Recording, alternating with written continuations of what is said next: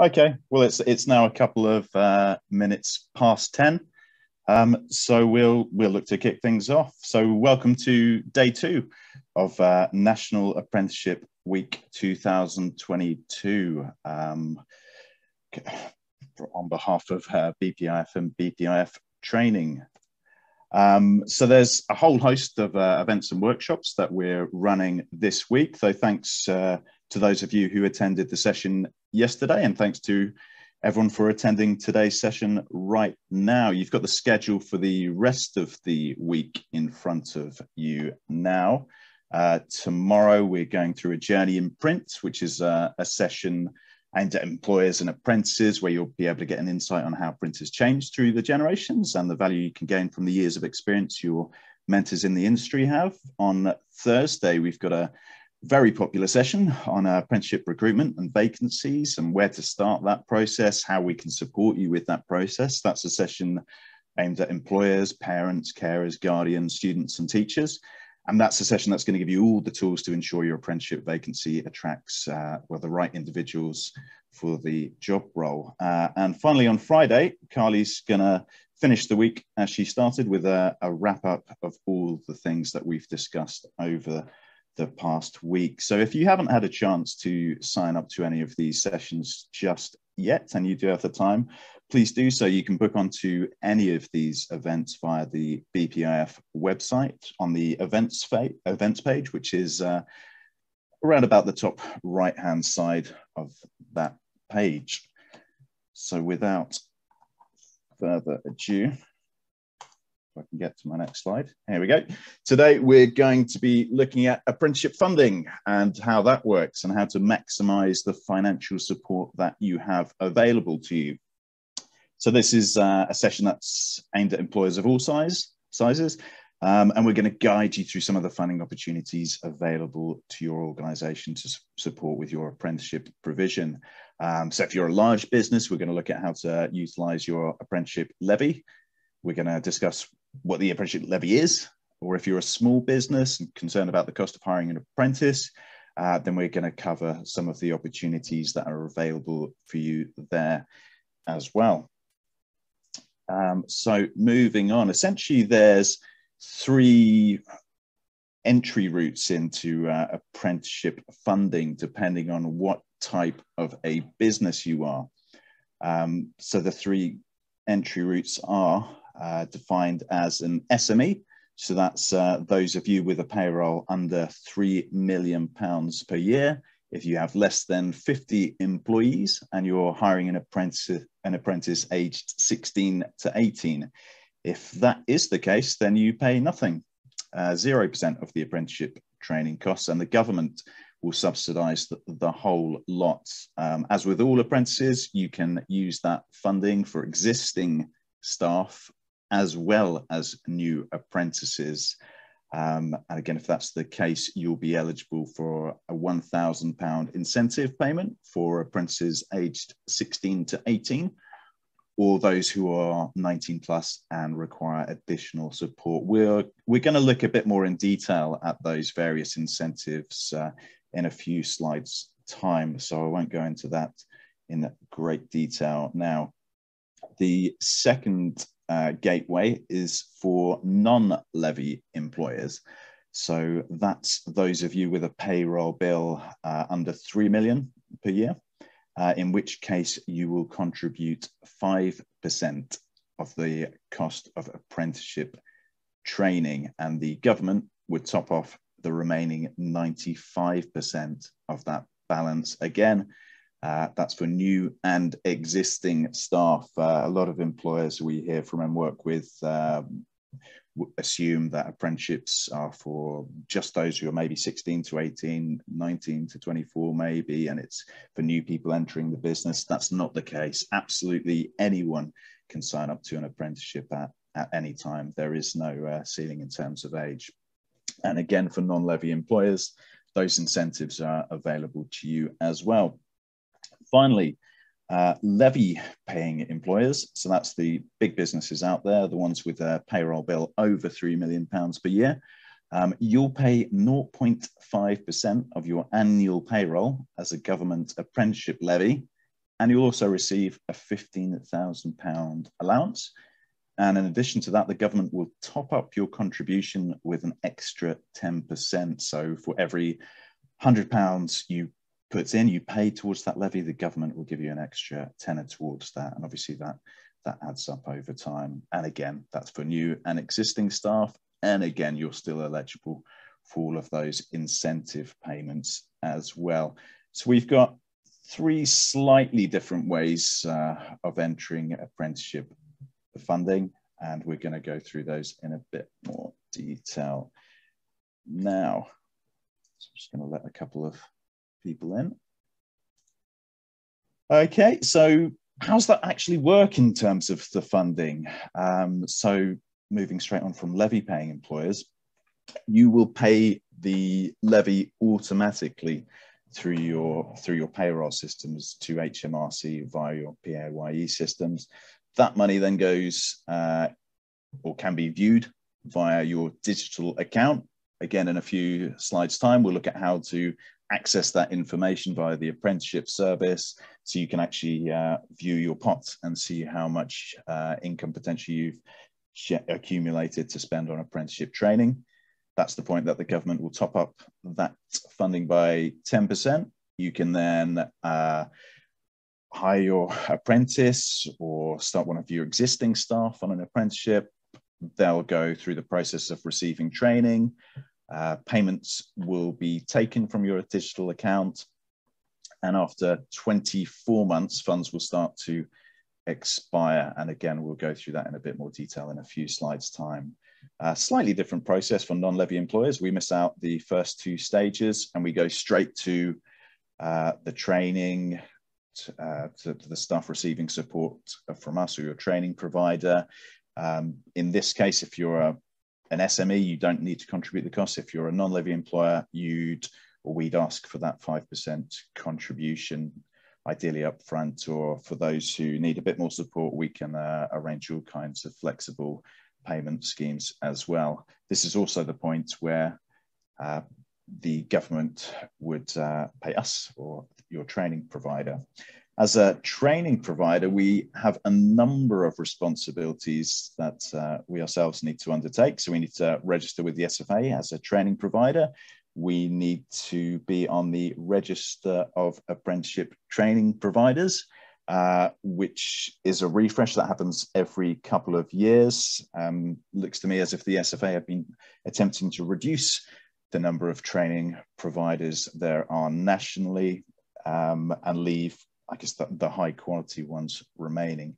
Uh, so that uh, we're also subject to things like Ofsted. So we, we need to maintain certain quality controls throughout that process as well.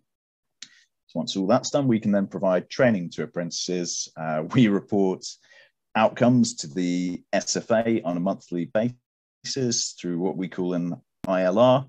Um, and that's how we, we report all the activity that we've undertaken in, in previous months on a monthly basis. Um, and that's how one system talks to the apprenticeship service, which also talks to the uh, HMRC record service as well.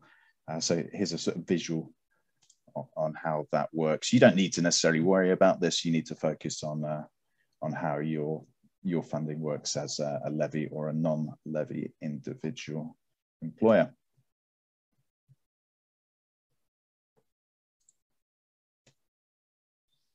Okay, so one thing I get asked quite uh, a lot actually is, well, what happens to uh, to, to, all this uh, levy uh, levy funding that's generated on a yearly basis? Do the government hoard it all? Do they hide it? Do they keep it? What do they spend it on? Um, so here's quite an interesting illustration I found. This is the most uh, recent illustration I could find. It goes back to the forecast for the 2019-2020 period. So things may have changed a little bit in that time, but we can see here from all the uh, the funds that are generated through the apprenticeship levy. So that's all the organisations uh, who are levy payers paying their 0.5% uh, of their payroll. That was then estimated to generate almost 3 billion over the 2019 to 2020 period. Um, of which about 15% goes to the devolved administrations. So that's Northern Ireland, Scotland, Wales, and those devolved administrations can decide how to fund and operate their, their apprenticeship programs uh, however, however that way they want. The remaining balance of that uh, goes back into the training part. It goes back in towards apprenticeship and training and education. So an estimated 64% of that goes towards levy payers and non-levy payers uh, for existing learners. So that's maintaining funding for learners already on program. 22% uh, of that goes to levy payers for new starters. And the remaining 14% of that gets uh, transferred from levy payers to non-levy payers to fund non-levy, uh, I guess, government co-contributions as well. It would be interesting to see how things have moved on since 2019-20. So we'll, we'll look at out and see if the government provide any information on uh, on that at some point in the near future. But it's, it's quite an, an interesting illustration to share in any case. If you're still not sure, and we honestly don't know who is a, an apprentice an apprentice levy or non-levy payer. There is no list. We can't access that information. Uh, we can't ask for it from HR, HMRC. So we ask you, the employers, uh, for that information. So the best thing for you to do, if you're not quite sure, is to go onto the apprenticeship service uh, via the URL here, and we'll share all these links after the session. Um, and check it, check it out yourself, get yourself configured properly, and from there you can view your levy pot if you have one, or it'll link to HMRC and it will tell you that you are indeed not uh, a levy employer. There's a few other things you can do there. So you can get an estimate on your apprenticeship funding, which allows employers to calculate whether they'll pay the apprenticeship levy or not and how much they'll have available to spend on apprenticeships. So it's a really good starting point uh, to get logged on and registered here. It'll also show uh, employers how much the government will contribute towards the cost of training uh, there's a number of other services you can access from the apprenticeship service, and actually the SFA have been quite good on expanding the number of services here. So you can use that uh, service there, the apprenticeship service. Essentially, it's your central hub. It'll direct you where you need to go for apprenticeship training. Uh, so you can find apprenticeship training. So if you've got an idea of what standards you want to deliver, you can go on there and it will give you as an employer an easy to digest information on the choices you have available to you and you can easily search for and find a standard framework and training provider compare comparing one other providers with each other. Um, i think it also gives you feedback um, from surveys on providers so you can see them almost through a review system you can also look at recruiting apprentices through that platform. So you can post vacancies. We can help you with that. Certainly, uh, we're going to be looking uh, at that more closely on Thursday. So I won't mention that too much.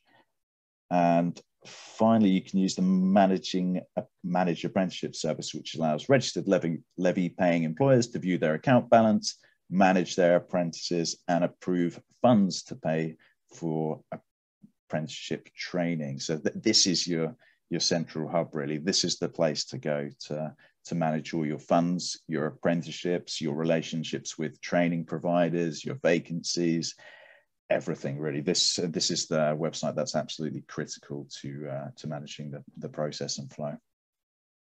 Okay so on to incentive payments and the kind of funding you can access. So these uh, the legacy, I guess, incentives. These have been around since uh, the apprenticeship reforms were introduced in way back in May 2017, I think. Um, so there's a number of uh, of incentives you can access now and at any point. So the government will pay uh, for 16 to 18 year olds, £1,000 to employers and a further 1,000 to training providers if they train a 16 to 18 year old apprentice. So that's any 16 to 18 year old apprentice you take on, you will get that, uh, that subsidy there.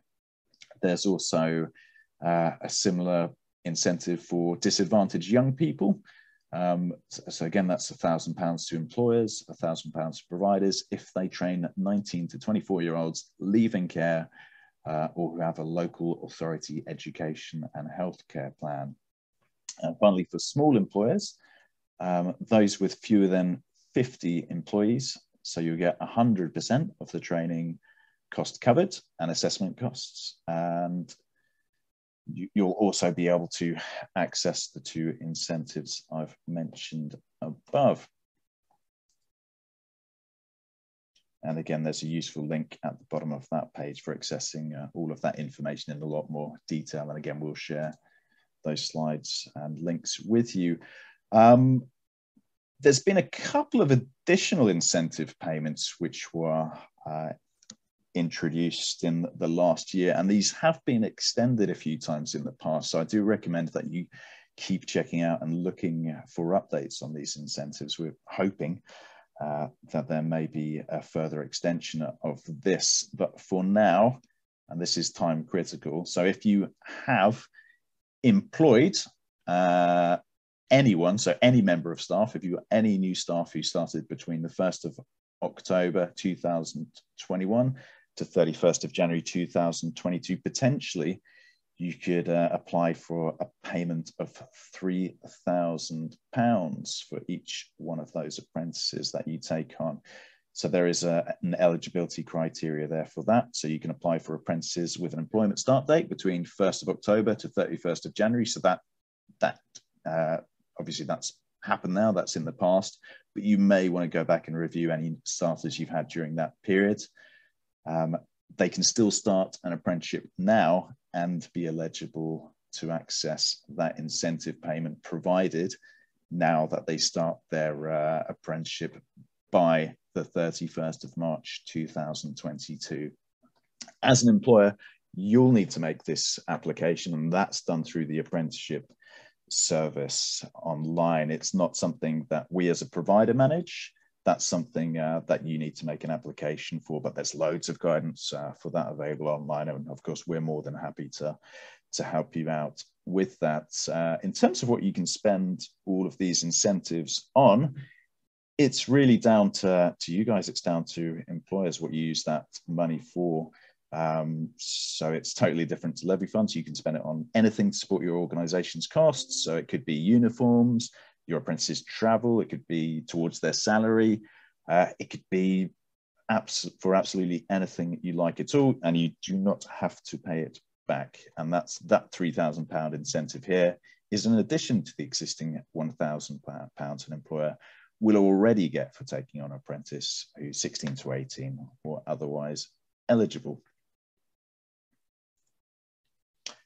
Okay, so moving on to national insurance contributions. Um, now, this is something actually I don't think as many employers or people we work with are aware of, but it's, um, it's definitely something that helps out a little bit. So, ever since April 2016's, employers haven't been required to pay uh, class one national insurance contributions for an apprentice if the apprentice is under 25 year old, under 25 years old, and is on an approved UK government apprenticeship standard or framework, and earns less than 967 pounds a week or 50,000 pounds a year. If you do know any apprentices under 25 who are earning more than 50,000 pounds a year, then please uh, direct me to that career.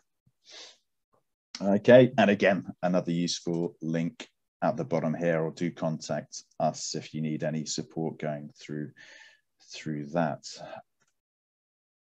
Okay, this is quite a useful slide in terms of um, things, again, maybe employers didn't know or hadn't heard before. So I'll, I'll cover this now, top seven myths about the apprenticeship program. So number one, as my levy funds expire after 24 months, then I cannot use them to fund all of an apprenticeship that lasts longer than 24 months.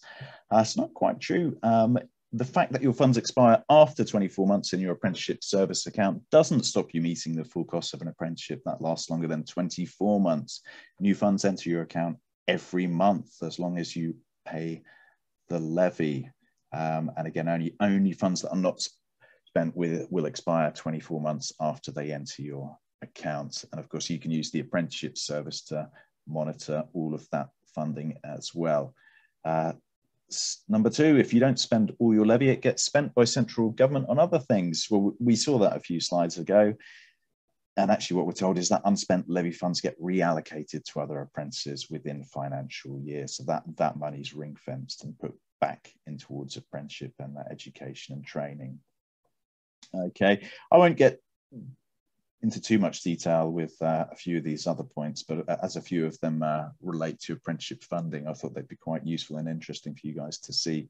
Um, so quickly here on a 20% off the training, um, so it isn't inflexible. It doesn't have to be one day a week. We can we can move that round. We can uh, deliver all of it at the beginning, at the middle, or at the end of the apprenticeship. Okay. Number four, providers have to advise apprenticeship vacancies for us. Um, not true. You can do that yourselves. Uh, number five, and this is a big one, apprenticeships cannot be used for existing staff. Absolutely, they can do. So apprenticeships can be used to upskill and or retrain employees of any age, including older workers or existing staff, as long as the apprenticeship is giving them new skills to enable them to achieve competence in their chosen occupation. So yeah, once again, apprenticeships are open to absolutely anyone in your organization, provided the apprenticeship uh, that they sign up to does indeed train them with new skills, uh, knowledge, and behaviors. And apprenticeship's not for somebody who simply wants accreditation. If you want a certificate for something you already know, not necessarily for you. There's other things you can look at there. Okay, number six, apprenticeships are only entry level. They're for low skill people. Absolutely not true again.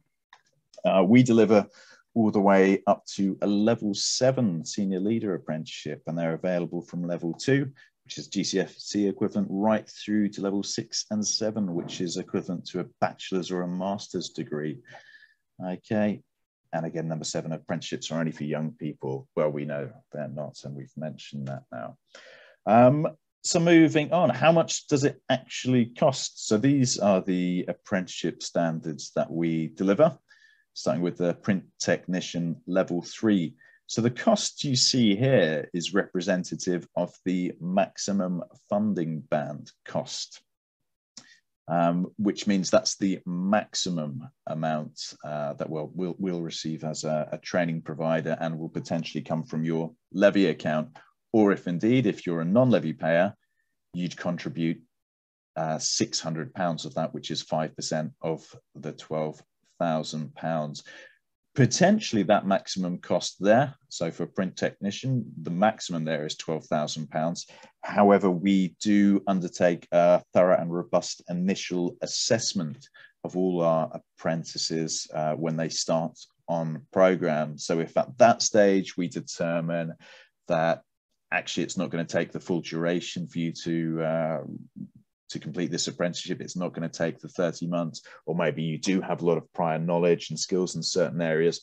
Potentially, we could look at reducing that cost and that duration, um, which means if you're a levy payer, let's say we reduce that to 11,000 or 10,000, that's what uh, would come out of your levy pot, and that would affect the 5% contribution as well.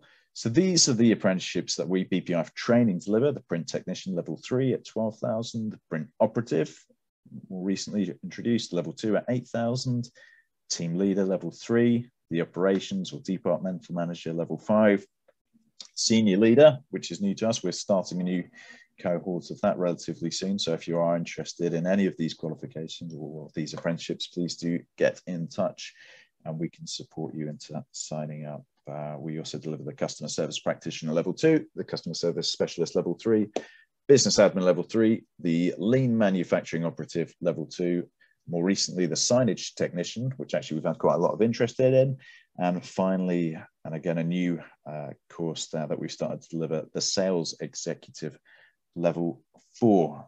So that, that's how the funding works, and those are the maximum costs. Uh, another thing you might be interested in doing, and not everyone's necessarily aware of this, is that you can transfer unused apprenticeship funds to other employers. So, employers who pay the apprenticeship levy and have unused apprenticeship funds can find employers who want to receive a transfer. Um, so, you could look at maybe employers you work with, uh, you could get in touch with other employers in your industry you could work with regional partners. This is something that's really useful, we think, in terms of maybe supporting your supply chain or maybe just putting something uh, back into the sector. So you might you might know of other organizations that need a bit of this support. So where we see uh, ourselves as uh, perhaps being able to support and facilitate some of this um, if you are a levy payer and you've got loads of money left in your account and you know it's not going to get spent so uh, it's going to expire after those 24 months please get in touch with us and we can redirect some of that uh, apprenticeship levy funding towards an employer within the sector who does need it. Okay, and then we can support the industry as a whole, which is something that's really, really valuable, uh, certainly in the current economic climate, I think. Uh, so you can transfer up to a maximum of 25% of your annual funds. So that's an increase on previous years. And you can make transfers from the apprenticeship account to as many employers as you choose. Okay, so what transfers can pay for? Well, they can pay for apprenticeship training and nothing else. So you can't move funds around to, say, a member of your supply chain and then use it for something else. It's ring, ring, fenced, ring fenced to apprenticeship training. So it's used to pay for the training and assessment costs of the apprenticeship agreed with the receiving employer. And that's all managed through the apprenticeship service. There's a link at the bottom of this page here. And again, we'll share all those links with you guys. But there's loads of uh, instructional videos and diagrams and links and step-by-step guides. There's loads of information out there. And again, we're more than happy to help and support with that. Um, sending and receiving employers do need to know that funds are paid monthly for the duration of the apprenticeship. So you want to make sure you've got enough at the start to, to go all the way to the end. Uh, only levy, levy employing, levy paying employers can make a transfer. Any employer can receive and use transferred funds. So it could even be levy to levy. And sending and receiving employers have to be registered on the apprenticeship service. A transfer can only be used to pay for training and assessment for apprenticeship standards, so not the old frameworks and transfers can only be used for new starts. So if you've already got an apprenticeship on program, you cannot be the recipient of transferred funds to uh, put towards cost of an existing apprenticeship. But something that's really, really useful uh, and good to know, I think. And for maybe some of the SMEs and smaller non-levy payers, you may know, or may you may have a contact uh, with someone who works with a larger levy-paying employer maybe now maybe now's a good time to get in touch with them and see how how they can support uh, or if you don't know anyone please come to us and we'll see if we can maybe facilitate something okay so a quick illustration on how that might work uh, so the sending employer would calculate the available spend and again you can access and view what you've got in your pot via the apprenticeship service both employers would then discuss and agree terms offline or we could be the link in between there the intermediary the receiving employer would set up an apprenticeship service account online. The sending employer would initiate a connection online using the account ID from the receiving employer. So you sounds a bit more complicated than it is in practice. So the apprenticeship service is quite intuitive in, in how it's used, but it, it's about sharing num numbers online. Okay. The receiving employer then chooses a training provider, and you can both add and approve the apprentices online. Uh, finally, the sending employer can give final approval of cost and the standards, and the apprenticeship can start and payments start to be made on a monthly basis.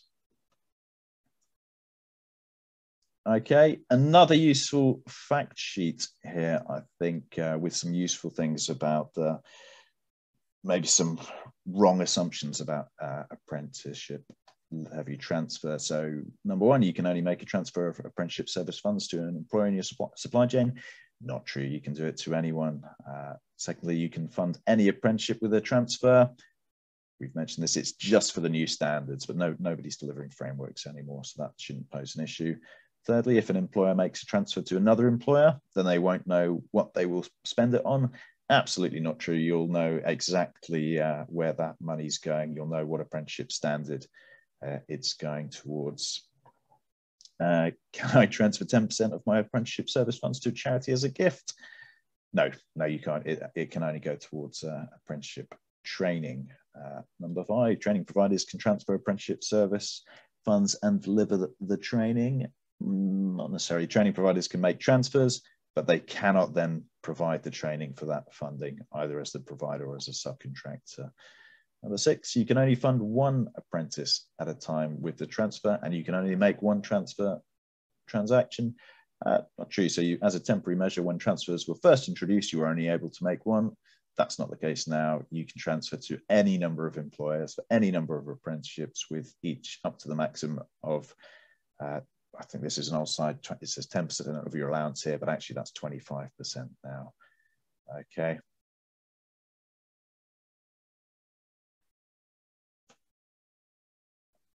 Something we do get asked a lot, which does happen more often than you think, actually. So for uh, organizations that are maybe just sort of on the threshold of that 3 million um, pound levy uh, threshold. So where there are insufficient funds in the employer's levy account, and the, then the employer would be required to co-invest. So at that point, if you run out of apprenticeship funds in your levy account, essentially you, you become a non-levy employer. So what happens at that stage is uh, whatever the balance remaining there is, um, you'd be asked to pay a 5% co-investment towards that and the government would subsidize the remaining 95% balance. Uh, that's for any any apprenticeship starts after 1st of April 2019. Uh, before that, you'd have been asked to make a 10% co-investment payment. So we, as a training provider, would tell you that we get various reports from the ESFA, our funders, that tell us um, when uh, an employer's uh, levy is running a bit low and actually let's say in that month they haven't had enough they haven't had enough in there to cover the training for their apprenticeship. So at that point, we'd open a, a dialogue with an employer, and potentially we'd uh, we'd invoice them for that five percent difference. Okay, so yeah, we, would invoice you there. So the, the employer's requirement to co-invest where they have insufficient funds in their levy account is also included in your contract with the SFA and the provider funding rules uh, require the training provider to collect that co-investment payment. So in other words, we've already signed up and agreed to that process at the beginning. Um, and actually, if you think about it, if your funds are running a bit low, you're, you're not being asked to, to fund uh, 100% of that, that balance subsidy. It's just a 5% uh, contribution or co-contribution. So it, it's, it's unless you've got loads and loads and loads of apprentices and suddenly you've run out of levy funds, uh, maybe because your payroll's drastically reduced, it's unlikely to be uh, a huge amount you're looking at. Okay, moving on to traineeships and potentially how we can use that uh, collaboratively with uh, apprenticeships to get a really sort of cost efficient and effective way of taking staff on board and supporting uh, young people throughout their the early stages of their employment. Uh, so, for those of you who don't know, uh, a traineeship is a skills development program that includes a work experience placement aimed at helping to prepare young people aged 16 to 18 for employment or an apprenticeship. Uh, traineeships uh, will include between 70 and 240 hours work experience placement with uh, BPIF or your training provider providing support for additional training needs for the young person. Um, how the traineeship program works. So, what would happen early on? We'd assess the needs of the trainee once they come on program. Um, some trainees may need pre employment training before starting their work experience placement. So, we could either do a pre employment program and then put an individual into a placement, or we could run things side by side. We do then work with the employer to plan and agree the length of the work experience placement, uh, the days the trainee works, and how the program will be delivered. So traineeships, I think, represent quite a, flexible way of delivering uh, pre-employment programs, and employers can change the program as they go to make sure that the trainee gets the most out of it.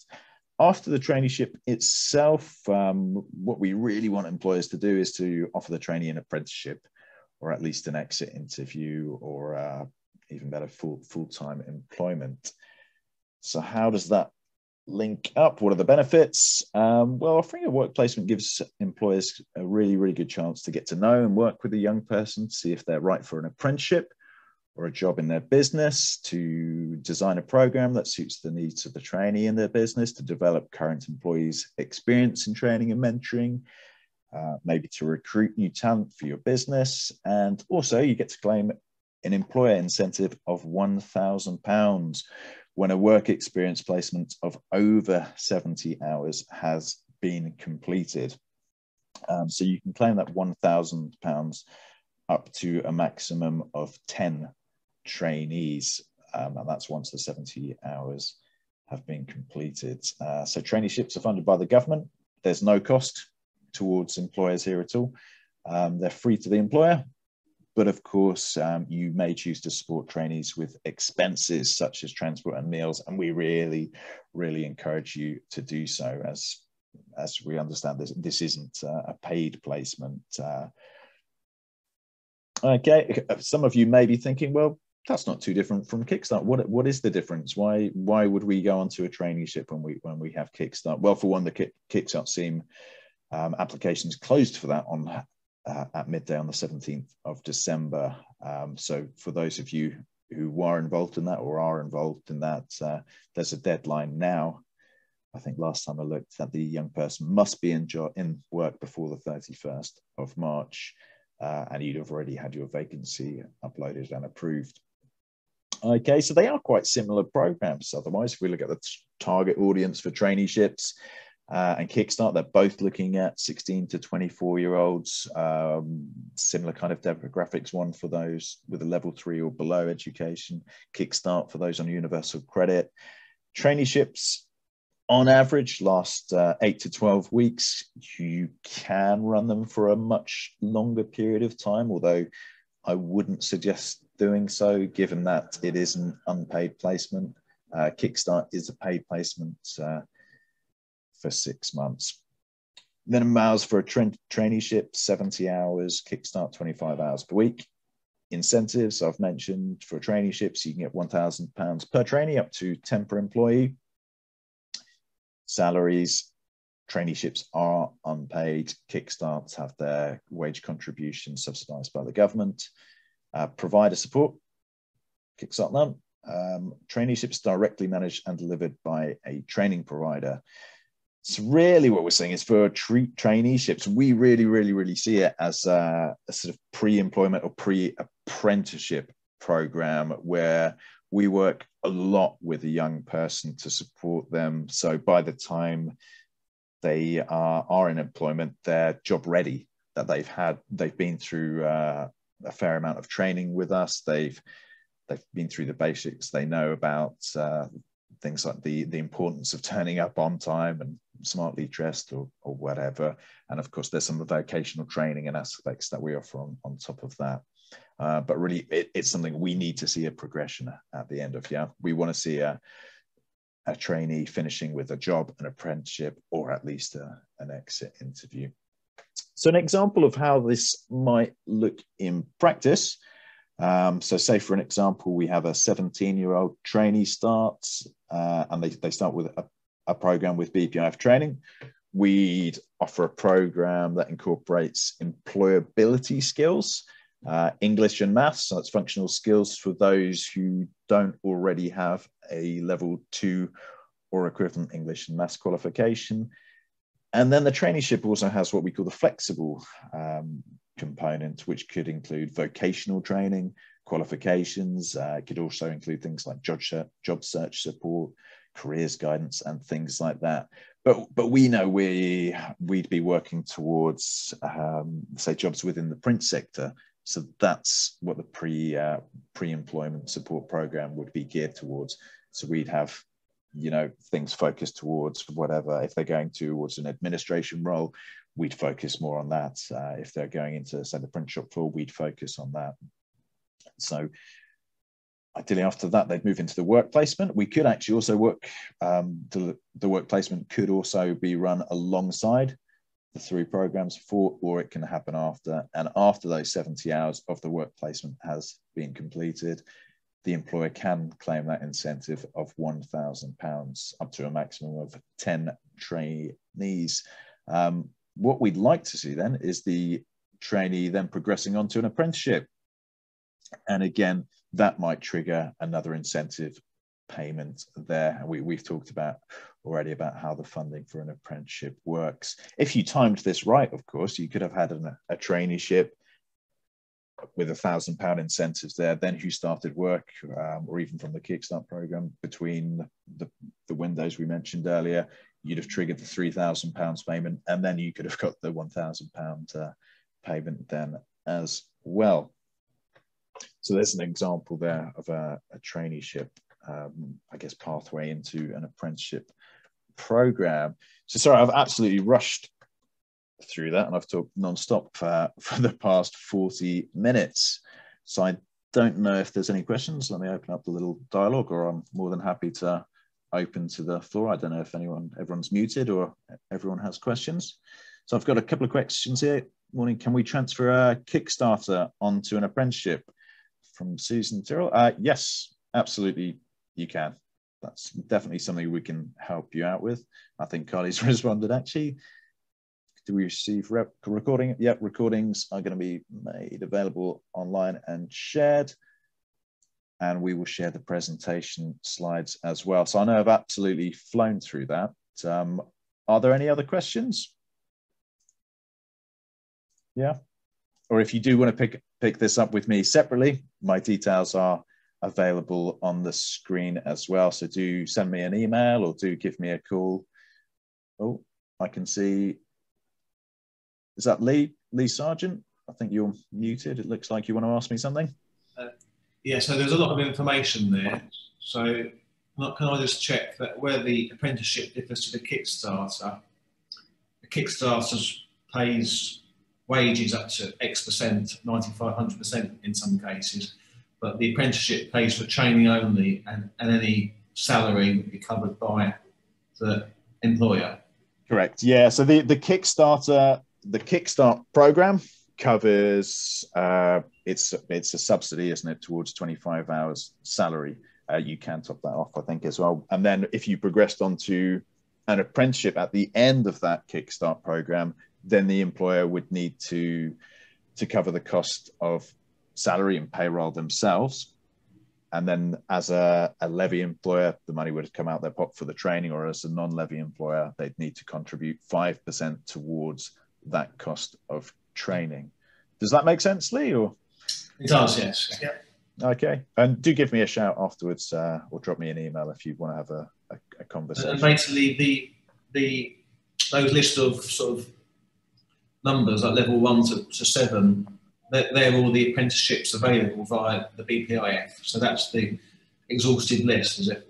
That's correct. Yeah, and we're we're we're looking always uh, to expand on that, and we we've you know in the last year we've added quite a few more different uh, standards uh, to our curriculum.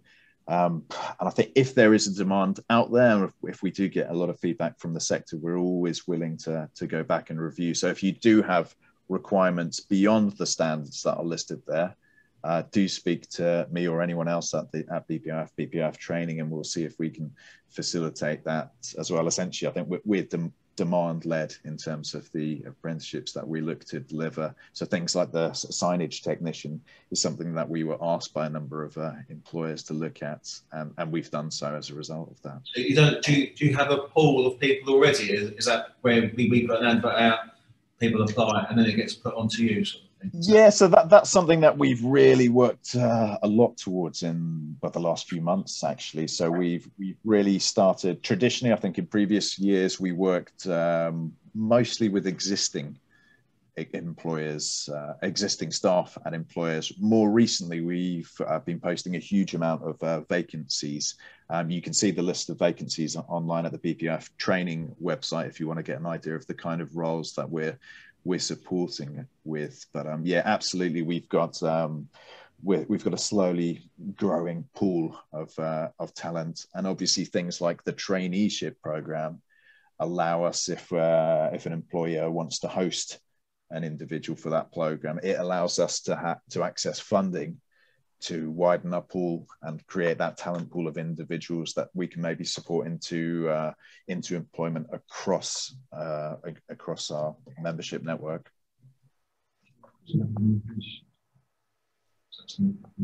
Okay. Thank you. Thank you. Okay, great. So th thank you all for uh, sitting through that. I saw a number of you did uh, enter the session a bit later, so we, we, will share all the slides and we'll share the, the video recording of this as well. But again, please do go online, do check out our website, look at those vacancies if you want a, an idea of the courses we offer, of the vacancies we can support with. Uh, do go to the britishprint.com website and do book onto the events uh, for the rest of the week. We've got some really, really interesting and useful sessions coming up that actually I think you'll, you'll get quite a lot out of here are those events. Uh, I'll cover this a, a, bit at the beginning of the session as well. But please do go online and, uh, and book onto these sessions. Um, and uh, yeah, if there's anything that doesn't come out of these sessions, please, please do get in touch as well, and we'll support you in any way we can.